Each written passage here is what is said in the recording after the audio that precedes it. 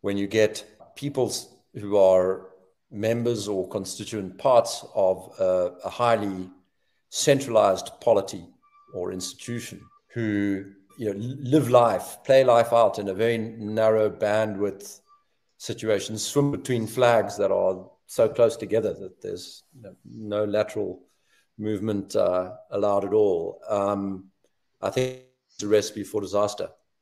Mm, in my second interview, I think it was, so that we're talking in May of 2020, I actually pointed immediately to the balkanization problem because what I saw was the epidemiologists putting their models together, but not consulting immunologists. Mm.